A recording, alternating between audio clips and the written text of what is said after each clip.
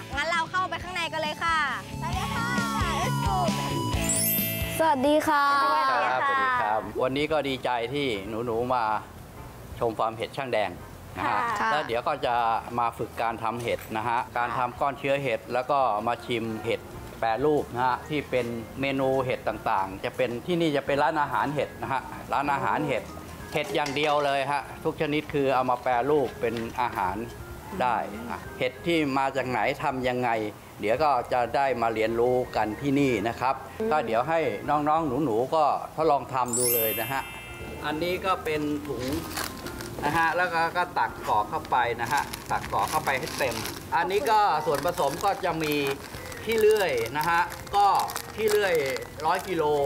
ลำ 6กิโลลำละเอียด 6กิโลนะครับอ่ายิบซ้ำ1กิโลนะฮะส่วนผสม แล้วก็ดีเกลือ 3 ขีดนะฮะปูนขาว 1กิโลผสมกับน้ำให้ได้ความชื้นเนี่ย 60%นะฮะความชื้น 60%หมายความว่าไง ถ้ากำแล้วไม่แตก ก็ใช้ได้ ถ้ากำแล้วแตกละเอียดอย่างนี้ก็แสดงว่ายังใช้ไม่ได้นะฮะถ้ากำแน่นๆ แล้วไม่แตกเป็นก้อนนี้ก็ใช้ได้แล้วฮะความชื้นอยู่ใน 60%นะฮะกรอกใส่ใส่ถุงไปเลยนะครับ ต้องแน่นมากไหมคะต้องอัดแน่นอ่ากรอกให้เต็มก่อน เดี๋ยวลุงจะอธิบายให้ฟัง พอบรรจุเสร็จแล้ว เอาเข้าไปนึ่งนะครับ100 องศา 4 ชั่วโมงเต็ม แล้วเราก็เอาออกมา ทิ้งพักไว้ให้เย็นมันร้อนนะๆฮะเลยอะพักไว้ให้เย็นมันร้อนแล้วก็หยอดเชื้อไปนะครับกรอกไปเลยนะฮะกรอกไปเลยอย่างนี้นะฮะเดี๋ยวเราอธิบายให้ดูกรอกไปแล้วต้องต้องก็กระแทกหน่อยให้มันลงนะนี่เป็นแบบวิถีชีวิตของชุมชนกรอกให้เต็มเลยนะฮะแล้วก็บีบลงไปทุบลงไปกดลงไปนะครับนี่ฮะกดลงไปถ้าถ้านั่นหน่อยก็เอามือตีนหน่อยอะเอา ไม้ตีหน่อยนะฮะแล้วก็เอาคอนี่ฮะเอาด้านปากด้านกว้างในลงนะครับก็ใส่เข้าไปอะสวมใส่เข้าไปเลยนะครับนะฮะใส่คอคือเรียกใส่คอถ้าดึงยิ่งแน่นยิ่งยิ่งดีนะครับ มือซ้ายกดคอไว้ กดตรงคอไว้มือขวาก็ดึง ดึงให้แน่น ๆ ดึงให้ตึงๆนะฮะดึงให้ตึงๆอย่างนี้นะแล้วก็เอาหนังรัด นะฮะหนังรัดอย่างนี้นะฮะนี่ครับเยอะไปเปล่าเยอะไปเปล่าวิวมันแน่นอ่าอ่าอย่างนี้ก็ใช้ได้แล้ว คือหนังรัดแล้วก็เอาสำลีปิดนะทำไมถึงต้องใช้สำลีปิดอะคะถ้าเอาคือสำลีเนี่ยการเชื้ออะหนังหลังจากนึ่งแล้วเนี่ยเดี๋ยวเชื้อมันอ่าปนเปื้อนเข้าไป เชื้อราจะอย่างนี้เข้าไป อ่าสำลีอุ่นหน่อยเดียวก็ใช้ได้แล้วนะครับ ค่ะ อ่า เสร็จแล้วก็เป็นก้อนอย่างนี้นะฮะ ถ้าเป็นก้อนอย่างนี้แล้ว เอาเข้าไปนึ่งนะฮะ นึ่งเสร็จแล้วก็เอาออกมาพักไว้ให้เย็น แล้วก็เอาเชื้อตัวนี้หยอดเข้าไปนะฮะ เชื้อตัวนี้เราจะเอาพันธุ์สายพันธุ์ไหนก็ได้ฮะ มีเป็นสิบสิบสายพันธุ์เอาสายพันธุ์ไหนก็ได้ หยอดเข้าไปแล้ว ประมาณสัก 30 เม็ดเชื้อนะฮะ เม็ดเชื้อก็เป็นเม็ดเชื้ออ่าข้าวฟ่างหยอดเข้าไปก็ประมาณ 30 เม็ดหยอดแล้วก็เอาสำลีปุดไว้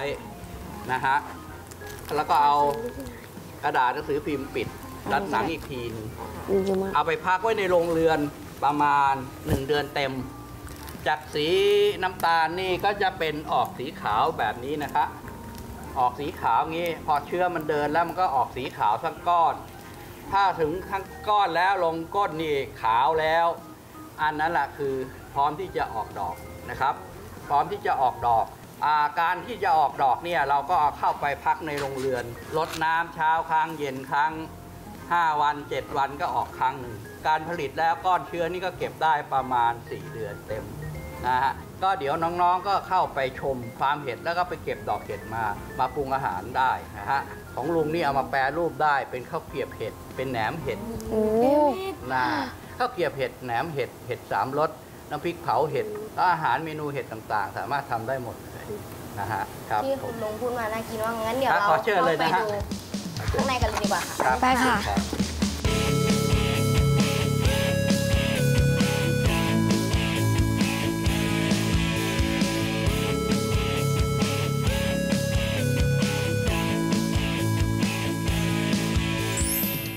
นนี้เป็นเห็ดเยื่อไผ่นะครับ แล้วอันตัวเนี้ย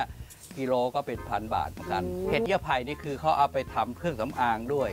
เครื่องดื่มด้วย คือเห็ดเยื่อไผ่ตัวนี้ อันนี้ยังไม่บานเดี๋ยวให้น้องลองเก็บดอกนี้ดูก่อนแล้วเอาไปเอาไปปรุงอาหารได้นะฮะ เก็บเลยฮะเก็บเลยเด็ดเลยฮะค่อยๆโยกดึงเลยฮะความรู้สึกเหมือนถอนฟันอะดึงเลยโอ้ ลากลากกันเยอะฮะเหมือนถอนฟันเลยอะนั่นแหละครับมาเอาตะกร้าใส่ แล้วเดี๋ยวก็ไปเห็ดไปเก็บมันนิ่มอ่ามากเห็ดเลยค่ะ เอาไปทอด คือเห็ดนางฟ้าสีชมพู เก็บเลยนะฮะ การเก็บก็คือจับโยกโยกๆนะฮะ แล้วก็ดึงออกมา อุ้ยโอ้นะฮะ ถ้าจะเป็น สวยมาก ถ้าจะเป็นดอกใหม่นะฮะ ดอกใหม่หรือเพิ่งออกใหม่ๆเนี่ย ก็ควรจะใช้ช้อน ปลายช้อนค่อยๆ สอดเข้าไปแล้วแคะออกมา นะฮะ ก็ออกจะมาอย่างนี้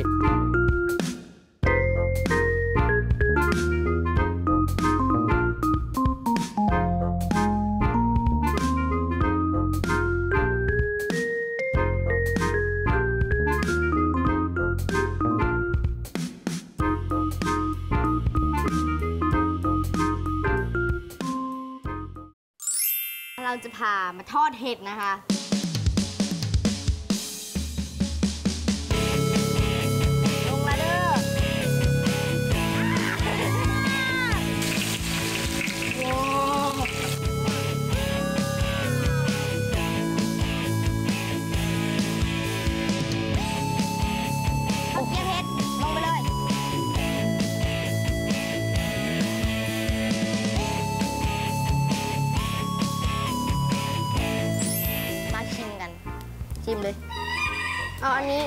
อันนี้ข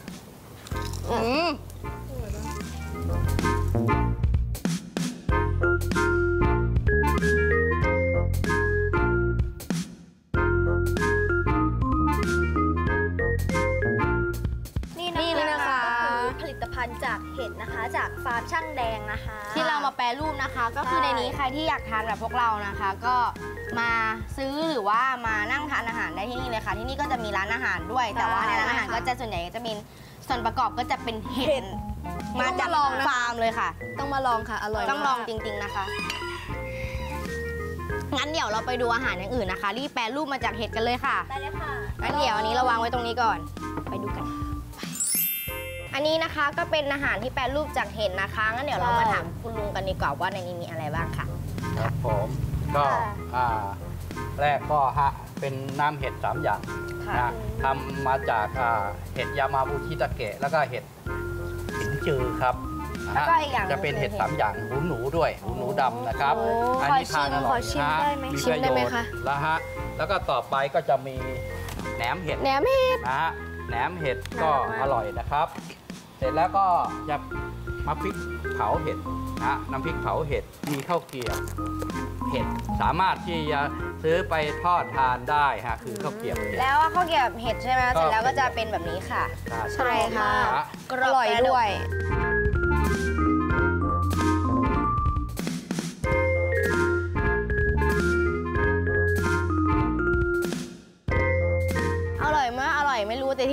แป๊บเดียววิวกินหมดแล้วอะหมดแล้วค่ะ ก็วันนี้ก็ต้องขอบคุณคุณลุงมากนะคคะรับขอบคุณนะคะครับวันนี้ก็พวกเราได้ความรู้เรื่องเห็ดกันไปมากมายเลยค่ะค่ะครับผมงั้นต่อไปเราไปพบกันในช่วงอะไรคะอุ้ม Ready for fun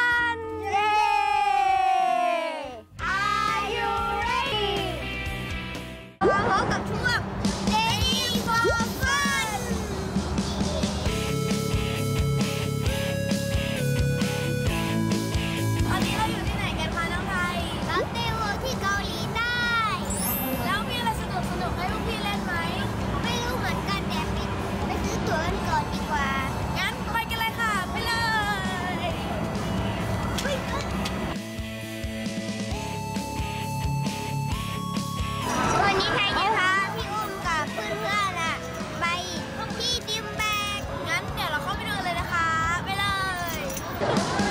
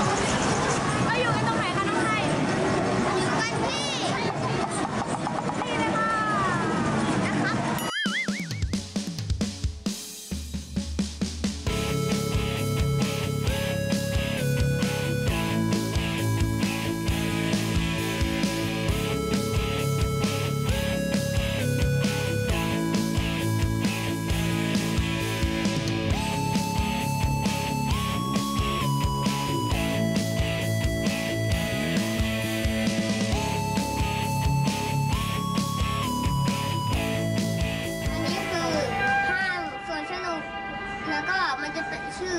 ลอตเต้วอลมันก็จะแยกประเภท คือประเภทเด็กกับประเภทผู้ใหญ่ บางอันก็เล่นได้ทั้งเด็กและผู้ใหญ่เลยนะคะ แล้วก็ใครที่มานะคะ ก็ใครที่มีโอกาสได้มานะคะ ก็อย่าลืมมาที่เกาหลีนะคะ แล้วก็มาที่ลอตเต้วอลด้วยค่ะ ที่นี่นะคะก็มีเครื่องเล่นน่าสนุกเยอะแยะเลยค่ะ และพี่อุ้มก็กรี๊ดด้วย ใช่แล้วค่ะ เพราะว่าน่าลุ้นมากๆเลย งั้นสำหรับวันนี้นะคะพวกเราขอลาไปก่อนค่ะ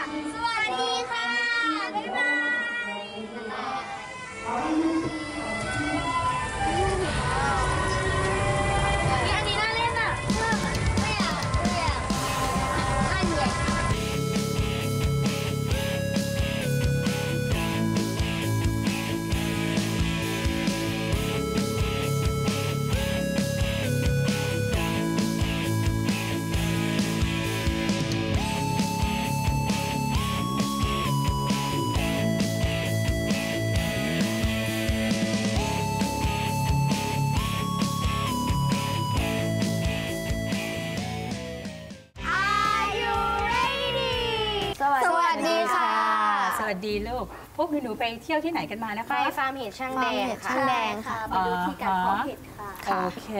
อ่าฮะเป็นต้นไม้ชนิดหนึ่งใช่ไหมคะเห็ดเป็นต้นไม้ใช่ชค่ะนิดหนึ่งภาษาอังกฤษที่เราเรียกเราเรียกเห็ดเนี่ยเราใช้คำว่าอะไรคะ mushroom โอค่ะโอเค mushroom อือฮึ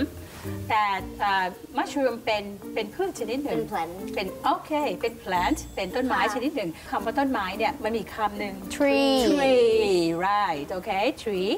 so เพราะฉะนั้นเรามีสองคำคือคำว่า plants กับ tree อ่าฮะ plant and tree อ่าฮะแล้วต่างกันยังไงอยากทราบไหมคะ อยากค่ะ plant อ่า mushroom เนี่ยเป็น Plant ดังเทาสิ Plant Plant โอเค เป็น plant ทำไมถึงเราจัดให้เป็นประเภท plant คะ เพราะ mushroom มีลักษณะที่มีอะไรบ้าง มีค่ะมีลำต้นไหมมีลำต้นแต่มีลำต้นแต่มันเป็นลำต้นแบบเล็กเล็กๆๆสั้นๆค่ะเราจึงเดียวเรียกในภาษาอังกฤษว่า stem stem plant stem นะคะค่ะค่ะแล้วก็ mushroom มีรากไหม มีมีมีค่ะ ใช่ไหมคะค่ะเห็ดมีรากก็เรียกว่าภาษาอังกฤษเรียกว่า root root โอเค นอกจากนี้มัชรูมยังมีใบไม้อ่ามีดอกใช่ไหมดอกค่ะดอกเห็ดใช่ไหมอ่าฮะ flower flower โอเค แล้วมัชรูมมีมีเมล็ดไหมคะ มีมี แพร่กระจายใช่ไหมคะแล้วซึ่งเราเรียกว่า seed องค์ประกอบครบไหมครบครค่ะบค่ะ plant ใช่ไหมคะ ค่ะแล้วโอเคใบไม้นะคะ alright okay good โอเคใบไม้เราเรียกว่าอะไรคะภาษาอังกฤษ leaf leaf leaf leaf อ่าฮะเรียกว่า leaf good โอเคนะคะค่ะไหนลองยกตัวอย่างให้ครูที่ครับว่าอะไรบ้างเป็น plant parsley plant ค่ะโอเค parsley plant good carrot plant carrot plant broccoli plants อือฮึ broccoli plant โอเคและ plant เนี่ยเราปลูกที่ไหนกันบ้างนะไม่ในดินค่ะในดินโอเค ซึ่งในดินก็คืออยู่ในสวนใช่ไหมคะสวนค่ะในสวนเพราะฉะนั้นเราปลูกในสวนภาษาอังกฤษว่า garden โอเค ปลูกในร่มได้ไหมได้ได้ได้แล้วก็ถ้าปลูกในเรือนกระจก greenhouse greenhouse เกิดในร่มเราเรียกว่าอะไรคะ indoor indoor indoor plants นะนะคะคะหรือว่า house house house plant good โอเค house plant โอเคนะคะ อันนั้นก็เป็นลักษณะของ plant plant โอเคค่ะ ทีนี้เรามาถึงคำว่า tree คำว่าค่ะ tree เราบอกว่า tree แปลว่าอะไรนะ ต้นไม้ ต้นไม้ ต้นไม้ โอเค แล้วต้นไม้มีองค์ประกอบอะไรบ้างคะ ส่วนของมันมีลำต้นแบบใหญ่โอเค ทีนี้เมื่อกี้เมื่อกี้เราบอกว่า plant เป็น stem ใช่ไหมๆเป็นลำต้นแล้วแล้ว tree นี่เป็นลำต้นใหญ่ เราเรียกว่าอะไรครับเป็น เป็นใหญ่ ๆ เลยเป็น Trunk หรือเปโอล่าเค trunk อะฮะ trunk ซึ่งถ้าเป็นต้นไม้ลำใหญ่ๆแบบเนี้ยมันมีคำเต็มๆเรียกว่าอะไรนะ wood Wooden trunk wooden trunk right โอเค wooden trunk นะคะนอกจากมีลักษณะที่มีลำต้นแล้วนะคะ ต้นไม้ยังมีมีกิ่กิ่งงกิ่งก้าก้านนกิ่งก้านเราเรียกว่า branch branch branch โอเคเรียกว่า branch อะฮะโอเคทีนี้เพื่อนเราถึงรู้แล้วว่าต้นไม้เนี่ยมีมีลักษณะที่เอ่อต้องครบองค์ประกอบแบบนั้นนะคะ ลองให้ตัวอย่างสิคะว่าต้นอะไรบ้างที่เป็น tree oak tree ค่ะ โอเค and oak tree โอเค mango tree a mango tree coconut trees โอเค a coconut tree โอเค เรามาดูตัวอย่างประโยคของ plant ก่อนนะคะค่ะ plant เช่น a water plant twice a week water plant Plants twice a week ก็ค่ะคือต้องรดน้ำต้นไม้สัปดาห์ละสองคสรั้องงครั้งสองครั้งต่อสัปดาห์ โอเค แล้วก็เรามาดูตัวอย่างประโยคของ tree ค่ะค่ะ tree ก็เช่นอะไรคะ เช่น we sit under the tree for shade we sit under the tree for shade พวกเรา right นั่งใต้ต้นไม้เพื่อรับร่มเงา ถูกต้อง เพราะฉะนั้นแสดงว่าต้นไม้ tree ต้องทำไมคะมีร่มอ่าเงาให้ร่มไม้เราได้กว้างไป ใช่ โอเคค่ะ เพราะฉะนั้นเราก็ทราบความแตกต่างระหว่าง plant plant กับ กับ tree tree แล้วนะคะค่ะโอเค ทีนี้ช่วงสุดท้ายนะคะ ก็เป็นช่วงของสุภาษิตเหมือนคล้ายค่ะ นะคะสุภาษิตเหมือนคล้ายประจำวันนี้นะคะ facts are stubborn things first are stubborn things right โอเคแปลว่าความจริงเป็นสิ่งที่ดื้อดื้อรั้รั้นนอืมความจริงเป็นสิ่งที่ดื้อรั้น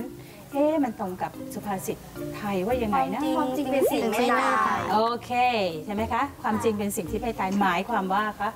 น่าจะแบบความจริงเป็นสิ่งที่แบบไม่มีวันเลือนลางจะคงอยู่ตลอดไป อืมฮึจะไม่มีวันเปลี่ยนแปลงเป็นอย่างอย่างอื่นค่ะ ค่ะโอเค วันนี้ก็หวังว่าอ่าหนูๆน้องๆนะคะท่าและอ่าท่านผู้ชมทางบ้าน คงได้เรียนรู้ทั้งคำศัพท์ภาษาอังกฤษ และสุภาษิตคำเหมือนคล้ายค่ะ อังกฤษและไทยค่ะ ค่ะ ขอบคุณอาจารย์นะคะ เพราะว่าได้รับความรู้เพิ่มเยอะมาก แต่วันนี้เรามีของมาแจกอีกแล้วค่ะซึ่ง กติกานะคะ ก็ก็คืคืออ ให้เพื่อนๆนะคะ ยกตัวอย่าง plants กับ tree มาอย่างละ 5ตัวอย่างนะคะรวมเป็นกี่ตัวอย่างคะสิบตัวอย่างค่ะ ใช่ค่ะ แล้วเราก็จะได้รับอะไรบ้างคะน้องวิว หมวกจากวง The Atlantic นะคะแบบนี้เลยค่ะจำนวน10รางวัลค่ะแบบนี้แล้วก็เลยถุงผ้านะคะจากรายการ Are You Ready นะคะ อีก 10 รางวัล รวมเป็น 20 รางวัลค่ะ ส่งมาทาง ที่อยู่ด้านล่างนี้เลยค่ะ แล้วก็ใช่ค่ะใครนะคะที่ติดตามดูพวกเราไม่ทันนะไม่ทัคะนนะคะ สามารถดูได้ที่ YouTube YouTube Are You Ready Thailand นะคะ และที่สำคัญนะคะ อย่าลืมกดไลค์กดแชร์กด Subscribe นะคะ และที่สำคัญอย่าลืมกดกระดิ่งกรุงกริงกรุงกริงด้วยนะคะเพื่อที่จะได้รับชมวิดีโอเป็นคนแรก ๆ เลยค่ะใช่ค่ะแล้วก็อย่าลืมกดไลค์นะคะ Facebook Are You Ready Thailand ด้วยนะคะค่ะสำหรับวันนี้นะคะ พวกเรารายการ Are You Ready นะคะ ขอลาไปก่อนค่ะค่ะสวัสดีค่ะ บ๊ายบาย สวัสดีค่ะ